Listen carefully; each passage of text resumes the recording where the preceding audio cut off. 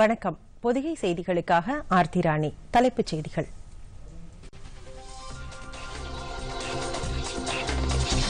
உணவு தானிய உற்பத்தியில் உலகின் முதல் மூன்று நாடுகளில் ஒன்றாக இந்தியா. உருளைக்கிழங்கு மாநாட்டில் பிரதமர் நரேந்திர மோடி பேச்சு.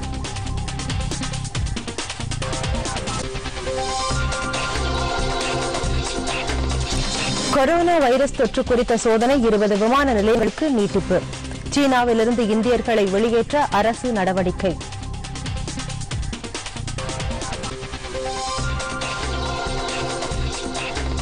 சென்னையில் அரசு பன்னோக்கு உயர் சிறப்பு மருத்துவமனையில் கதிர்வி புற்றுநோய் சிகிச்சை வளாகம். முதலமைச்சர் எடப்பாடி பழனிசாமி திறந்து வைத்தார். ஆஸ்திரேலிய ஓபன் டென்னிஸ் ரோஜர் ஃபெடரர் ஜோகோவிச் அரையிறுதிக்கு முன்னேற்றம்.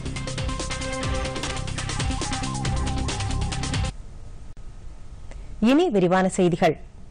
அடுத்த இரண்டு ஆண்டுகளுக்குள் விவசாயிகளின் வருவாயை இரட்டிப்பாக்க மத்திய அரசு தொடர்ச்சியான நடவடிக்கைகளை மேற்கொண்டுள்ளது என்று பிரதமர் நரேந்திர மோடி தெரிவித்துள்ளார். குஜராத் மாநிலம் காந்திநகரில் மூன்றாவது உலக உருளைக்கிழங்கு மாநாடு நடைபெறுகிறது.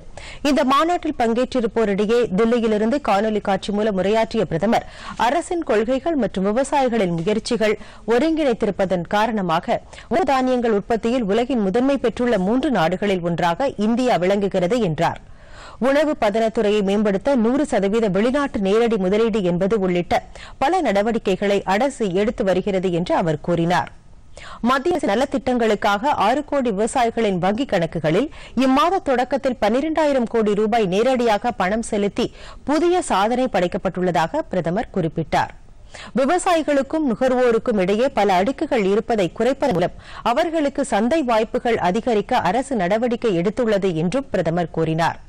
அடுத்த ஐந்தாண்டுகளில் பத்தாயிரம் வேளாண் உற்பத்தி அமைப்புகள் தயாராகிவிடும் என்று குறிப்பிட்ட பிரதமர் வேளாண் துறை சார்ந்த தொழில்களை தொடங்க அரசு கூடுதல் கவனம் செலுத்தி வருகிறது என்றார். பாசனத்திற்காக மத்திய அரசின் கொள்கை முன்முயற்சி முடிவுகள் நவீன வசதிகள் ஆகியவற்றால் உருளைக்கிழங்கு உற்பத்தி இருபது சதவீதம் அதிகரிக்க வழிவகுத்துள்ளது என்று அவர் கூறினார். நாட்டின் சராசரி உற்பத்தி அதிகரிப்பு இருபது சதவீதமாக உள்ள போதிலும் குஜராத்தில் இது நூற்றி எழுபது சதவீதமாக உள்ளது என்று அவர் குறிப்பிட்டார். கடந்த இருபது ஆண்டுகளில் உருளைக்கிழங்கு உற்பத்தி மற்றும் ஏற்றுமதியில் குஜராத் முக்கிய இடத்தை பெற்றுள்ளது என்று அவர் கூறினார். உருளைக்கிழங்கு உற்பத்தி மற்றும் ஆராய்ச்சி புதிய கொள்கையை வடிவமைக்க வேண்டிய அவசியம் உள்ளது என்று கூறிய பிரதமர் யாரும் பசியோடு இருக்கக்கூடாது என்பது நமது பொறுப்பாகும் என்றார். வரும் முப்பத்தி ஓராம் தேதி வரை நடைபெறவுள்ள இந்த மாநாட்டில் பதினான்கு நாடுகளைச் சேர்ந்த நூறு பிரதிநிதிகள் பங்கேற்றுள்ளனர். இந்த மாநாட்டையொட்டி வேளாண் கண்காட்சிக்கும் களப்பணிக்கும் ஏற்பாடு செய்யப்பட்டுள்ளது. மத்தியில் தற்போதுள்ள அரசு காஷ்மீரிலிருந்து பயங்கரவாதத்தை அப்புறப்படுத்தியுள்ளது என்று பிரதமர் நரேந்திர மோடி தெரிவித்துள்ளார். தில்லியில் உள்ள கரியப்பா அணிவகுப்பு மைதானத்தில் தேசிய மாணவர் படை மாணக்கரிடையே உரையாற்றிய பிரதமர் இளைய பாரதம் பயங்கரவாதத்தை முறியடிக்கும் என்றார். காஷ்மீர் பிரச்சினை நாடு விடுதலை அடைந்த காலத்திலிருந்து நீட்டிப்பதாகவும் அதற்கு தீர்வு காண இதுவரை ஏதும் செய்யப்படவில்லை என்றும் அவர் கூறினார். காஷ்மீர் என்பது நாட்டின் அழகிய அணிகலன் என்றும் அதற்கு ஏற்பட்ட பிரச்சினைக்கு தீர்வு காண்பது அரசின் பொறுப்பாக இருந்தது என்றும் அதனை தேசிய ஜனநாயக கூட்டணி அரசு நிறைவேற்றியுள்ளதாக பிரதமர் குறிப்பிட்டார். மாற்றங்களை கொண்டு வருவதில் ஏற்படும் தாமதத்தை தவிர்க்க வேண்டும் என்று இளைஞர்களிடம் அவர் வலியுறுத்தினார். கடந்த கால சவால்களையும் எதிர்கால இலக்குகளையும் மனதில் கொண்டு தேசத்தை புதிய உச்சங்களுக்கு கொண்டு செல்ல அனைவரும் ஒன்றுபட்டு உழைக்க வேண்டும் என்று நரேந்திர மோடி கேட்டுக் கொண்டாா்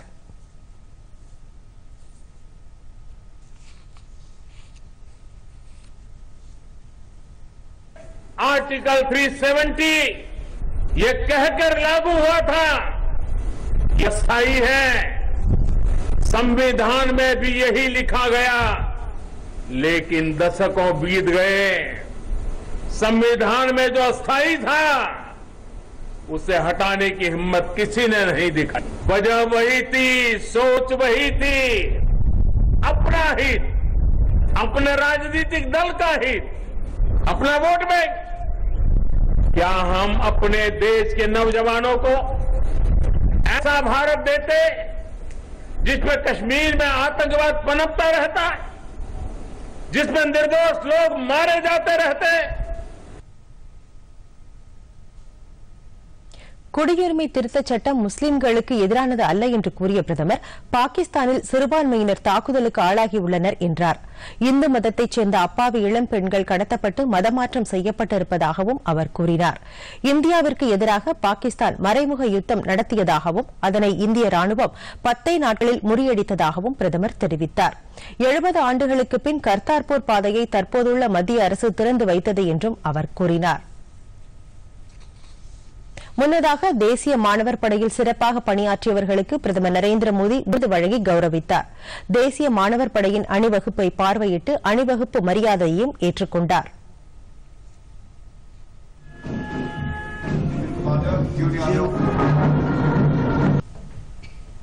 பிரதமர் நரேந்திர மோடி முன்னிலையில் தேசிய மாணவர் படையின் பல்வேறு பிரிவினர் கலை நிகழ்ச்சிகளையும் சாகச நிகழ்ச்சிகளையும் நடத்தினா்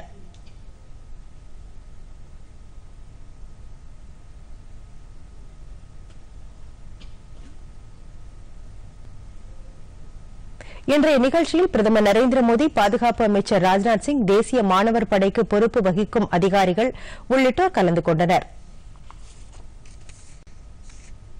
கொரோனா வைரஸ் தொற்று குறித்த சோதனை இருபது விமான நிலையங்களுக்கு நீட்டிக்கப்பட்டிருப்பதாக மத்திய சுகாதாரத்துறை அமைச்சர் ஹர்ஷவர்தன் தெரிவித்துள்ளார்.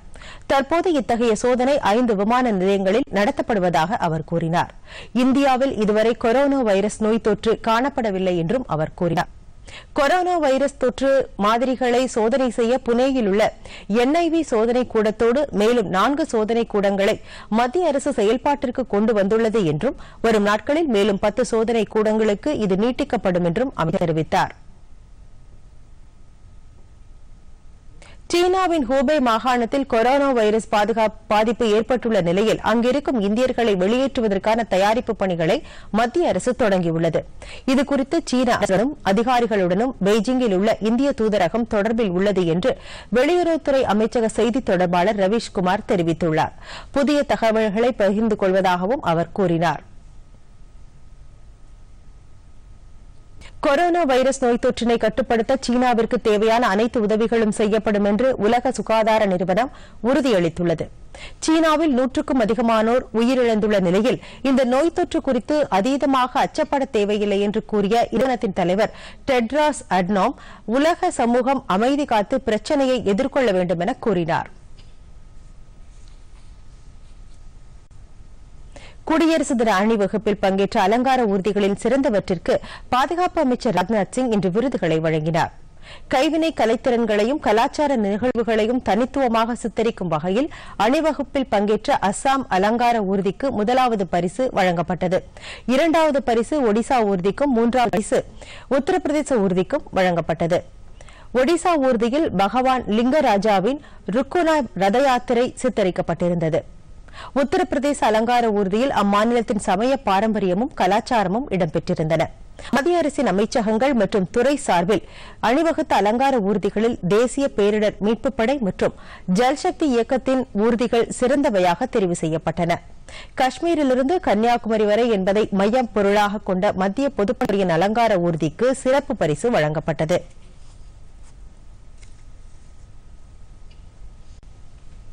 சென்னை ஓமந்தூரார் அரசு பன்னோக்கு உயர் சிறப்பு மருத்துவமனையில் புதிதாக அமைக்கப்பட்டுள்ள ஆறு கோடி ரூபாய் மதிப்பிலான கதிர்வீச்சு புற்றுநோய் சிகிச்சை வளாகத்தை முதலமைச்சர் எடப்பாடி பழனிசாமி இன்று திறந்து வைத்தார். மேலும் அங்கு அமைக்கப்பட்டுள்ள இருபத்தி இரண்டு கோடி ரூபாய் மதிப்பிலான லீனியா ஆக்சிலரேட்டர் கருவி மற்றும் சிடி சிமுலேட்டர் கருவியை முதலமைச்சர் இயக்கி வைத்தார். இது தவிர சென்னை ராயப்பேட்டை மருத்துவமனையில் இருபது கோடி ரூபாய் மதிப்பில் நிறுவப்பட்டுள்ள லீனியர் ஆக்சிலேட்டர் கருவியையும் முதலமைச்சர் எடப்பாடி பழனிசாமி காணொலி காட்சி மூலம் திறந்து வைத்தார்.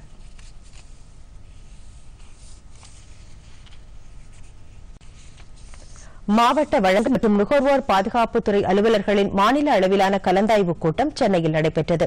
இந்த கூட்டத்திற்கு மாநில உணவுத்துறை அமைச்சர் இரா காமராஜ் தலைமை வகித்தாா் தமிழ்நாட்டில் முப்பத்து ஐந்தாயிரத்து இருநூற்று முப்பத்து மூன்று நியாய விலைக் கடைகள் செயல்படுகின்றன என்று தெரிவித்த அமைச்சர் மற்ற மாநிலங்களைப் போல தனியார் எவரும் நியாய விலைக் கடைகளை நடத்த தமிழகத்தில் அனுமதிக்கப்படவில்லை என்றார்.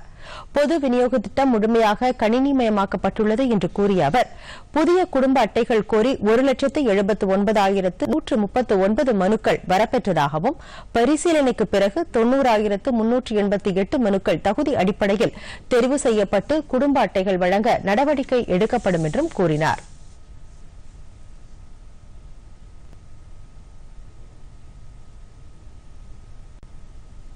மோட்டார் வாகன ஆய்வாளர் பணிக்கு முப்பத்து மூன்று விண்ணப்பதாரர்களை மட்டுமே நேர்முக தேர்விற்கு அழைத்து தமிழ்நாடு அரசு பணியாளர் தேர்வாணையம் வெளியிட்ட பட்டியலை சென்னை உயர்நீதிமன்றம் ரத்து செய்துள்ளது.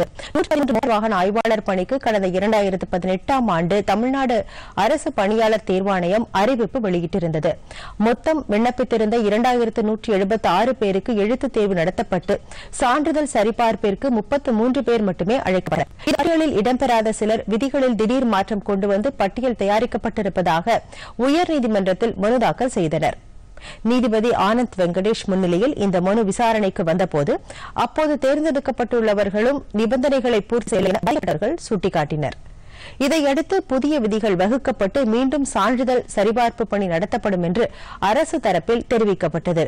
இதனை ஏற்றுக்கொண்ட நீதிபதி முப்பத்து மூன்று பேர் தேர்வு செய்யப்பட்டுள்ளதாக அறிவிக்கப்பட்ட பட்டியலை ரத்து செய்தார். விதிகளின்படி எழுத்து தேர்வில் பங்கேற்ற ஆயிரத்து முன்னூற்றி இருபத்தி எட்டு விண்ணப்பதாரர்களின் சான்றிதழ்களை சரிபார்த்து இந்த பணிகளை நான்கு வாரத்திற்குள் முடிக்க வேண்டும் என்று கூறி வழக்கினை முடித்து வைத்தார். முல்லை பெரியார் அணையை மத்திய ஆணைய தலைவர் வில்சன் ராஜ் தலைமையிலான மூவர் குழு இன்று ஆய்வு செய்தது. தமிழ்நாடு பொதுப்பணித்துறை செயலாளர் மாணிக்க வாசகம் கேரள நீர்ப்பாசனத்துறை செயலாளர் அசோக் ஆகியோர் இந்த குழுவில் இடம்பெற்றிருந்தனர். முல்லை பெரியாறு அணையிலிருந்து உபரிநீர் வெளியேறும் பதிமூன்று ஐந்தாவது ஷட்டர்களை இயக்கி இந்த குழு ஆய்வு செய்தது. அணையின் நீர்க்கசிவு பகுதியையும் இந்த குழு பார்வையிட்டது. பெரியாறு வைகை நிர்வாக பொறியாளர் சுப்பிரமணியன் இந்த ஆய்வின் போது உடனிருந்தார். உச்சநீதிமன்றம் நியமித்த இந்த முறையாக முல்லை பெரியாறு அணையை ஆய்வு செய்துள்ளது.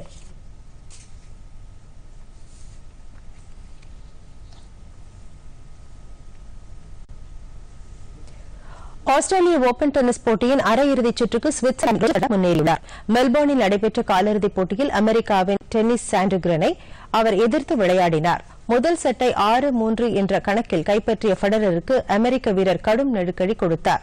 இதனால் அடுத்த இரண்டு செட்டுகளையும் இழந்த ஃபெடரர் நான்காவது செட்டை போராடி வென்றார். ஐந்தாவது செட்டை ஆறு மூன்று என்ற கணக்கில் வென்ற ஃபெடரர் அரையிறுதிப் போட்டிக்கு முன்னேறினார். இன்று நடைபெற்ற மற்றொரு காலிறுதிப் போட்டியில் முன்னணி வீரர் நொவாக் ஜோகோவிச் கனடாவின் மைலல் ரானிக்கை எதிர்த்து விளையாடுகிறார். பரபரப்பான இந்த ஆட்டத்தில் ஜோகோவிச் ஆறு நான்கு ஆறு மூன்று ஏழு ஆறு என்ற நேர் வெற்றி பெற்று அரையிறுதிக்கு முன்னேறினார். ரோஜர் ஃபெடரர் ஜோகோவிச் மோதும் அரையிறுதிப் போட்டி நாளை மறுநாள் நடைபெறும்.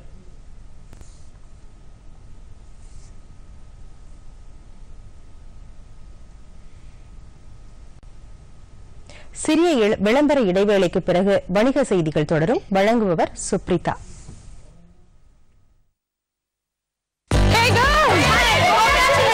இன்னைக்கு பார்ட்டி வேணும். முதல்ல சாம்பியன் கூட செல்ஃபி எடுத்துக்கலாம். ஐடியா இங்கேயே பார்ட்டி வச்சுக்கலாம். பீட்சா பார்ட்டி ஏ சரி கார்டையும் பின்னையும் கொடு. என் கார்டு டீடைல்ஸ் நானே தான் போடுவேன். ஆர்பிஐ சொல்லுது உங்க பின் ஓடிபி சிவிவி அல்லது இன்டர்நெட் பேங்கிங் பாஸ்வேர்டை யாருக்கிட்டயும் ஷேர் பண்ணாதீங்க. ஆன்லைன் பேங்கிங் உங்க கம்ப்யூட்டர்ல மொபைல்ல அல்லது செக்யூர் நெட்வொர்க்ல மட்டும் செய்யுங்க. பாய் கேர்ள்ஸ் எங்க போற? கேக்கலையா? நோ ஷேரிங் ஆர்பிஐ சொல்லுது விவரமா இருங்க எச்சரிக்கையா இருங்க ஆ பாத்துப்பா ஜாக்கிரதை. ஈராளால பாத்தீங்களா? வயலால தான் அவருக்கு இந்த வாழ்வு. அவருக்கு யாரோ உதவி செய்யறாங்க ஆமா என் பேங்க். பேங்கா? அது எப்படி? பேங்க் இந்த கிசான் கிரெடிட் கார்டை கொடுத்து சின்ன குடுக்கல் வாங்கல் மற்றும் சாகுபடி லோன் வாங்குறத சுலபமாக்கிடுச்சு. கிசான் கிரெடிட் கார்டு மூலமா நான் வயலுக்கு தேவையான எல்லா முதலீட்டு செலவையும் மத்த முக்கியமான செலவுகளையும் பூர்த்தி பண்ணிட்டேன். அதுவும் கேஷ்லெஸ் கொடுக்கல் வாங்கல் மூலமா. இத புதுப்பிக்கிற விதமும் ரொம்ப சுலபம் தான் அப்படின்னா தினமும் பேங்க் போவீங்களா? நிச்சயமா இல்ல. பாருங்க கொஞ்சம் கவனமா எல்லா கொடுக்கல் வாங்கல் பரிவர்த்தனைகளையும் டிஜிட்டல் அதாவது போன் இல்ல கார்டு மூலமா பண்றேன். ஆனா இந்த கொடுக்கல் வாங்கல் பரிவர்த்தனத்துல நீங்க உங்க ஓடிபி பின் சிவிவி இத யாருகிட்டயும் சொல்லக்கூடாது. கணக்க தொடங்குவோம். பேங்கோட தொடர்பு வச்சுப்போம். ஆர்பிஐ சொல்லுது அறிவுள்ள விவசாயி ஆஸ்தியுள்ள விவசாயி.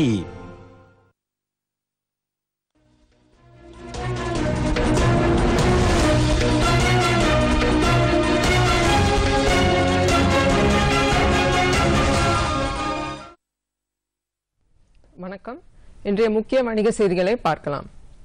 பங்குச் சந்தைகள் கீழ்நோக்கி முடிவு. எட்டு துறைகள் தேசிய பங்குச் சந்தையில் சரிந்தன. சர்வதேச சந்தையில் தங்கம் வெள்ளி மற்றும் கச்சா எண்ணெய் விலை குறைவு. ஆசிய சந்தைகள் இறங்குமுகம். அமெரிக்காவில் இன்று பெடரல் ரிசர்வ் கூடுகிறது. இனி நம் பங்குச் சந்தைகள் எவ்வாறு முடிந்தது என்பதை பார்க்கலாம். சென்செக்ஸ் பூஜ்ஜியம் புள்ளி நான்கு ஆறு சதவீதம் குறைந்து நாற்பதாயிரத்தி தொள்ளாயிரத்தி அறுபத்தி ஆறு புள்ளி எட்டு ஆறில் முடிந்தது. நேற்றைய நிலையை விட பூஜ்ஜியம் புள்ளி நான்கு ஆறு சதவீதம் குறைவு. தேசிய பங்குச்சந்தை குறியீடு நிப்டி பூஜ்ஜியம் புள்ளி நான்கு எட்டு சதவீதம் குறைந்து பன்னிரெண்டாயிரத்தி அறுபது புள்ளி இரண்டு ஐந்தில் முடிவுற்றது. நேற்றைய நிலையை விட ஐம்பத்தி எட்டு புள்ளி ஏழு ஐந்து புள்ளிகள் குறைவு. பேங்க் நிப்டி பூஜ்ஜியம் புள்ளி இரண்டு மூன்று சதவீதம் குறைந்து முப்பதாயிரத்தி எழுநூத்தி அறுபத்தி ஏழு புள்ளி பூஜ்ஜியம் ஐந்தில் முடிந்தது. நேற்று நிலையை விட எழுபது புள்ளி மூன்று ஐந்து புள்ளிகள் இறங்கு முகாம். இனி விலை ஏறிய துறைகள் என்னென்னவென்று பார்க்கலாம். நிதித்துறை பூஜ்ஜியம் புள்ளி இரண்டு ஏழு சதவீதம் ஏற்றம் பெற்றது. இதில் பத்து பங்குகள் விலை ஏறியும் பத்து பங்குகள் விலை குறைந்தும் காணப்பட்டன. ஹெச்டிஎஃப்சி ஒன்றரை சதவீதம் ஏற்றம் பெற்றது. பஜாஜ் பைனான்ஸின் பங்கு ஒன்று புள்ளி இரண்டு சதவீதம் அதிகரித்தது. தகவல் தொழில்நுட்பத்துறை பூஜ்ஜியம் புள்ளி இரண்டு ஆறு சதவீதம் ஏற்றம் பெற்றது. இதில் ஐந்து பங்குகள் விலை ஏறியும் ஐந்து பங்குகள் விலை குறைந்தும் காணப்பட்டன. என்ஐடி டெக்னாலஜிஸின் பங்கு இரண்டு புள்ளி எட்டு எட்டு சதவீதம் ஏற்றம் பெற்றது. ஹெக்ஸாவேர் ஒன்றரை சதவீதம் அதிகரித்தது. ரியாலிட்டி பூஜ்ஜியம் புள்ளி பூஜ்ஜியம் எட்டு சதவீதம் அதிகரித்தது. இதில் ஐந்து பங்குகள் விலை ஏறியும் ஐந்து பங்குகள் விலை குறைந்தும் காணப்பட்டன.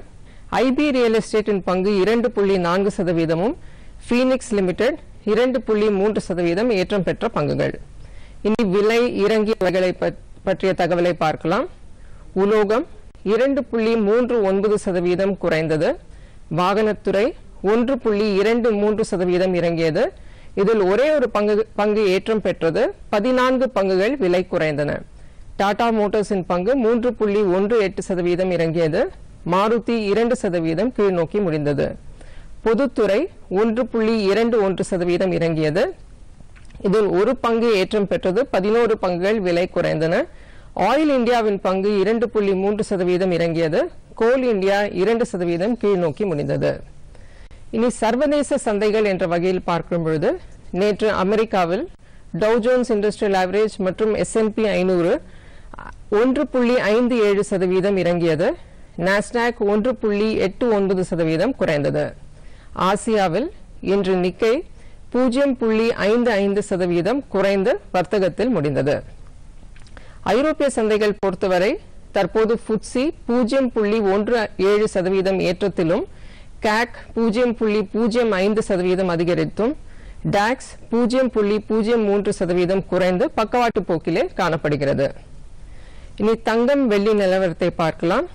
தங்கம் இருபத்தி நாலு கேரட் ஒரு கிராம் நாலாயிரத்தி அறுபத்தி ஒன்பது ரூபாயும் இருபத்தி ரெண்டு கேரட் ஒரு கிராம் மூவாயிரத்தி எண்ணூத்தி எழுபத்தி ஐந்து ரூபாயும் ஒரு சவரன் எட்டு கிராம் முப்பத்தி ஒரு முப்பத்தி ஓராயிரம் ரூபாயும் வெள்ளி ஒரு கிராம் ஐம்பத்தி ஒரு ரூபாயில் வர்த்தகமானது. இனி விரிவான செய்திகளை பார்க்கலாம். இன்று மதியத்துக்கு மேல் சந்தைகள் சந்தைகளில் சரிவு ஏற்பட்டது. இரண்டு நாளாக தொடர்ச்சியாக சந்தைகள் இன்று கீழ்நோக்கி முடிந்தன. சென்செக்ஸின் வரைபடத்தை பார்க்கலாம். இன்றைய போக்கு எப்படி இருந்தது என்று தெரிய வரும். சென்செக்ஸ் நேற்று முடியும் பொழுது நாற்பத்தி ஓராயிரத்தி நூத்தி ஐம்பத்தி ஐந்தாக இருந்தது. இன்று ஒரு ஏற்றத்தில் துவங்கியது நாற்பத்தி ஓராயிரத்தி இருநூத்தி தொண்ணூத்தி ஒன்பது. அதிகபட்ச நிலை நாற்பத்தி ஓராயிரத்தி முன்னூத்தி முப்பத்தி மூன்று. குறைந்தபட்ச நிலை நாற்பதாயிரத்தி எண்ணூத்தி அறுபத்தி ஒன்பது. முடிவுற்ற நிலை நாற்பதாயிரத்தி தொள்ளாயிரத்தி அறுபத்தி ஆறு. சென்செக்ஸில் எட்டு பங்குகள் ஏற்றம் பெற்றன. இருபத்தி ஓரு பங்குகள் விலை குறைந்தன. ஒரு பங்கு மட்டும் சம அளவில் முடிந்தது. இனி நிப்டியின் வரைபடத்தை பார்க்கலாம். நிப்டி நேற்று முடிவுற்ற நிலை பனிரெண்டாயிரத்தி நூத்தி பத்தொன்பது. இன்றைய துவக்கம் பனிரெண்டாயிரத்தி நூத்தி நாற்பத்தி எட்டு. பத்து மணி அளவில் நிப்டி அதிகபட்ச நிலைக்கு சென்றது பனிரெண்டாயிரத்தி நூத்தி அறுபத்தி மூன்று. குறைந்தபட்ச நிலை பனிரெண்டாயிரத்தி இருபத்தி நான்கு முடிவுற்ற நிலை பனிரெண்டாயிரத்தி அறுபது. நிப்டியில் பதிமூன்று பங்குகள் விலையேற்ற பங்குகளாக இருந்தன. முப்பத்தி ஆறு பங்குகள் கீழ்நோக்கி முடிந்தன. ஒரு பங்கு மட்டும் சம அளவில் முடிந்தது. இனி பேங்க் நிப்டியின் வரைபடத்தை பார்க்கலாம். பேங்க் நிப்டி நேற்று முடியும் பொழுது முப்பதாயிரத்தி எண்ணூத்தி முப்பத்தி ஏழாக இருந்தது. இன்றைய துவக்க நிலை முப்பதாயிரத்தி தொள்ளாயிரத்தி இருபத்தி இரண்டு. அதிகபட்ச நிலை முப்பத்தி ஓராயிரத்தி நாற்பத்தி எட்டு. மூன்று மணி அளவில் பேங்க் நிப்டி குறைந்தபட்ச நிலைக்கு சென்றது முப்பதாயிரத்தி அறுநூத்தி ஐம்பத்தி ஆறு. முடிவுற்ற நிலை முப்பதாயிரத்தி எழுநூத்தி அறுபத்தி ஏழு. பேங்க் நிப்டியில் ஐந்து பங்குகள் விலையேற்ற பங்குகள- பங்குகளாக இருந்தன. ஏழு பங்குகள் விலை குறைந்தன. இன்று நிப்டி கெய்னர்ஸாக இடம்பெற்ற பங்குகள் பிபிசிஎல் இரண்டரை சதவீதம் ஏற்றம் பெற்றது. ஹெச்டிஎஃப்சி ஒன்றரை சதவீதமும் பஜாஜ் ஃபைனான்ஸ் ஒன்று புள்ளி இரண்டு நான்கு சதவீதமும் சன்பார்மா ஒரு சதவீதமும் பஜாஜ் பின்சர்வ் பூஜ்ஜியம் புள்ளி ஒன்பது இரண்டு சதவீதம் ஏற்றம் பெற்றது. நிப்டி லூசர்ஸ் ஆக இருந்தவை வேதாந்தா நாலரை சதவீதம் வீழ்ச்சியை சந்தித்தது பாரதி ஏர்டெல் நான்கு புள்ளி மூன்று சதவீதமும் டாடா மோட்டார்ஸ் மூன்று புள்ளி ஒன்று எட்டு சதவீதமும் டாடா ஸ்டீல் இரண்டு புள்ளி ஒன்பது மூன்று சதவீதமும் ஜேஎஸ்டபிள்யூ ஸ்டீலின் பங்கு இரண்டு புள்ளி எட்டு ஐந்து சதவீதம் கீழ்நோக்கி முடிந்தது. இன்று ஐம்பத்தி ரெண்டு வார உச்சத்தை எட்டிய பங்குகள் Albert David Arabic pharma Deepak nitrite Divi's lab ESAB India Godrej Agrovet MRF SRF மற்றும் டிம்கன் இந்தியா. ஐம்பத்தி ரெண்டு வார குறைந்தபட்ச நிலைக்கு வந்த பங்குகள் ஐடிசி கரூர் வைசியா வங்கி மற்றும் ரிலையன்ஸ் கேபிட்டல். உலோகத்துறையில் இன்று ஒரு பங்கு மட்டும் ஏற்றத்தில் முடிந்தது. பதினான்கு பங்குகள் கீழ்நோக்கி முடிந்தன. வேதாந்தா நாலரை சதவீதம் வீழ்ச்சியை சந்தித்தது. செயில் மூணரை சதவீதமும் டாடா ஸ்டீலின் பங்கு இரண்டு புள்ளி ஒன்பது சதவீதம் கீழ்நோக்கி முடிந்தது. என்எஸ்சியில் உள்ள பதினோரு துறைகளில் இன்று எட்டு துறைகள் சரிந்தன. ஊடகம் ஒரு சதவீதம் கீழ்நோக்கி முடிந்தது. இதில் மூன்று பங்குகள் ஏற்றத்திலும் பதினோரு பங்குகள் விலை குறைந்தும் வர்த்தகத்தில் முடிந்தன. ஜி மீடியாவின் பங்கு நாலரை சதவீதம் வீழ்ச்சியை சந்தித்தது. டிவி டுடே மூன்று சதவீதமும் பாலாஜி டெலி இரண்டு புள்ளி நான்கு சதவீதம் கீழ்நோக்கி முடிந்த பங்குகள். பொதுத்துறை வங்கி குறியீடு பூஜ்ஜியம் புள்ளி ஆறு சதவீதம் இறங்கியது. இதில் இரண்டு பங்குகள் விலை ஏறியும் பதினோரு பங்குகள் விலை குறைந்தும் காணப்பட்டன. சென்ட்ரல் பேங்கின் பங்கு நான்கு சதவீதம் கீழ்நோக்கி முடிந்தது. கனரா வங்கி இரண்டு புள்ளி ஒன்பது சதவீதமும் இந்தியன் வங்கி இரண்டு புள்ளி மூன்று சதவீதம் இறங்கியது. எரிசக்தி துறை பூஜ்ஜியம் புள்ளி எட்டு சதவீதம் குறைந்தது. இதில் நான்கு பங்குகள் விலை ஏறியும் ஆறு பங்குகள் விலை குறைந்தும் வர்த்தகத்தில் முடிந்தது. ரிலையன்ஸ் இண்டஸ்ட்ரீஸின் பங்கு இரண்டு சதவீதம் கீழ்நோக்கி முடிந்தது. அதானி டிரான்ஸ்மிஷன் ஒன்றரை சதவீதமும் பவர் கிரிட் ஒன்று புள்ளி நான்கு சதவீதம் கீழ்நோக்கி முடிந்தது. இன்று பிஎஸ்சி நூறு அரை சதவீதம் கீழ்நோக்கி முடிந்தது. மிட்கேப் மற்றும் ஸ்மால் கேப் குறியீடுகளில் விற்பனை காணப்பட்டன. மிட்கேப் குறியீடு பூஜ்ஜியம் புள்ளி ஐந்து ஏழு சதவீதம் இறங்கியது. ஸ்மால் கேப் பூஜ்ஜியம் புள்ளி இரண்டு மூன்று சதவீதம் குறைந்து வர்த்தகத்தில் முடிந்தது. விலை இறக்க பங்குகள் இன்று கூடுதலாக இருந்தன. இதுவரை வெளிவந்த காலாண்டு முடிவுகளில் ஒரு மிக்சட் போக்கே காணப்படுகிறது. சில முடிவுகள் சந்தை எதிர்பார்ப்புக்கு குறைவாகவே உள்ளன. இன்று எஃப்என்டோவில் டாப் கெய்னர்ஸாக இருந்த பங்குகள் மெக்டோவல் மற்றும் டிஷ் டிவி டாப் லூசர்ஸாக இருந்தவை ஐடியா மற்றும் டாரண்ட் ஃபார்மா இன்று ஆக்டிவ் ஸ்டாக்ஸாக இருந்த பங்குகள் ரிலையன்ஸ் பவர் நாலரை சதவீதம் வீழ்ச்சியை சந்தித்தது. ஐடியா ஏழரை சதவீதமும் எஸ் பேங்க் ஒன்று புள்ளி ஏழு சதவீதமும் ரிலையன்ஸ் கேபிட்டல் இரண்டு புள்ளி ஏழு சதவீதமும் என்டிபிசி பூஜ்ஜியம் புள்ளி ஏழு சதவீதம் குறைந்து வர்த்தகத்தில் முடிந்தது. மத்திய பட்ஜெட் நெருங்கி வருவதால் நாம் சந்தைகளில் ஏற்றம் இறக்கத்தை எதிர்பார்க்கலாம். நிப்டி ஃபியூச்சர்ஸின் போக்கு என்று பார்த்தோம் என்றால் தற்போது கீழ்நோக்கு பாதையில் உள்ளது. இதன் ரெசிஸ்டன்ஸ் பனிரெண்டாயிரத்தி நூத்தி ஐம்பது மற்றும் பனிரெண்டாயிரத்தி நூத்தி அறுபத்தி ஐந்தில் உள்ளது. சப்போர்ட் பனிரெண்டாயிரத்தி இருபது மற்றும் பதினோராயிரத்தி தொள்ளாயிரத்தி தொண்ணூத்தி ஐந்து. பேங்க் நிப்டி ஃபியூச்சர்ஸின் போக்கை பொறுத்தவரை அதுவும் ஒரு கீழ்நோக்கு பாதையில் உள்ளது. தற்போது முப்பதாயிரத்தி அறுநூத்தி எழுபத்தி ஐந்து என்ற சப்போர்ட் அருகே வர்த்தகம் நடைபெறு நடைபெறுகிறது. இதற்கு குறைவாக முடிந்தால் சரிவு ஏற்படலாம். அடுத்த சப்போர்ட் முப்பதாயிரத்தி நானூத்தி தொண்ணூத்தி ஐந்து மற்றும் முப்பதாயிரத்தி முன்னூத்தி நாற்பத்தி ஐந்து. மேல் நோக்கி சென்றால் அடுத்த ரெசிஸ்டன்ஸ் முப்பத்தி ஓராயிரத்தி எழுபது மற்றும் முப்பத்தி ஓராயிரத்தி நூத்தி எழுபத்தி ஐந்து. இன்று சந்தை இறங்க காரணிகளாக இருந்த பங்குகள் ரிலையன்ஸ் இண்டஸ்ட்ரீஸ் இருபத்தி ஆறு புள்ளி ஐந்து புள்ளிகள் பங்களித்தது. ஐசிஐசிஐ வங்கி பனிரெண்டு புள்ளி மூன்று புள்ளிகளும் பாரதி ஏர்டெல் பனிரெண்டு புள்ளி ஒன்று எட்டு புள்ளிகளும் ஐடிசி பதினோரு புள்ளிகளும் மாருதி நான்கு புள்ளி ஐந்து புள்ளிகள் பங்களித்தன. இனி இன்றைய அட்வான்ஸ் டிக்ளைன்ஸ் எவ்வாறு இருந்தது என்பதை பார்க்கலாம். இன்று என்எஸ்சியில் விலை ஏற்ற பங்குகள் நானூற்றி எண்பத்தி ஆறு விலை இறக்க பங்குகள் ஆயிரத்தி நூற்றி நான்கு பங்குகள் எந்த மாற்றமில்லாமல் முடிந்தவை தொண்ணூறு பங்குகள் மொத்தம் விற்பனையான பங்குகள் ஆயிரத்தி அறுநூத்தி எண்பது பங்குகள். பிஎஸ்சியில் விலையேற்ற பங்குகள் ஆயிரத்தி எழுபத்தி ஒரு பங்குகள் விலை இறக்க பங்குகள் ஆயிரத்தி அறுநூத்தி முப்பத்தி ஐந்து பங்குகள். எந்தவித மாற்றமும் முடிந்த பங்குகள் இருநூத்தி நான்கு. மொத்தம் விற்பனையான பங்குகள் இரண்டாயிரத்தி தொள்ளாயிரத்தி பத்து பங்குகள்.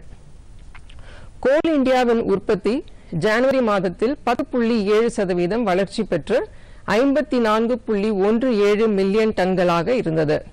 நிலக்கரியின் விநியோகம் ஆறு புள்ளி இரண்டு சதவீதம் அதிகரித்தது. இந்த பங்கு இன்று இரண்டு சதவீதம் கீழ்நோக்கி முடிந்தது. சர்வதேச சந்தைகளை பற்றி பார்த்தோம் என்றால் கொரோனா வைரஸ் பரவி வரும் சூழலில் அமெரிக்க சந்தைகள் நேற்று சரிந்தன. கடந்த மூன்று மாதங்களில் பெரிய வீழ்ச்சி என்று சொல்லலாம். ஆசிய சந்தைகளும் இன்று பெரும்பாலும் கீழ்நோக்கியே வர்த்தகத்தில் இருந்தன. இந்த வைரஸின் தாக்கத்தினால் சீனாவின் பொருளாதார வளர்ச்சி பாதிக்கலாம். போக்குவரத்து மற்றும் டூரிசம் பாதிக்க வாய்ப்பு உள்ளது. அமெரிக்காவில் பெடரல் ரிசர்வின் இரண்டு நாள் பாலிசி கூட்டம் இன்று துவங்குகிறது. இதில் வளர்ச்சிக்கான தகவல் முக்கியமானதாக அமையும்.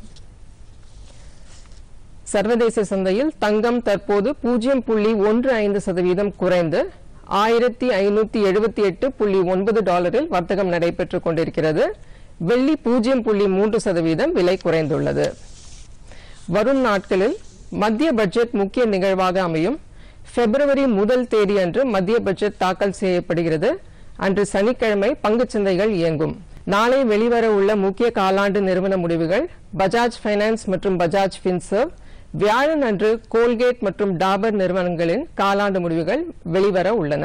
மீண்டும் சந்திப்போம். நன்றி வணக்கம்.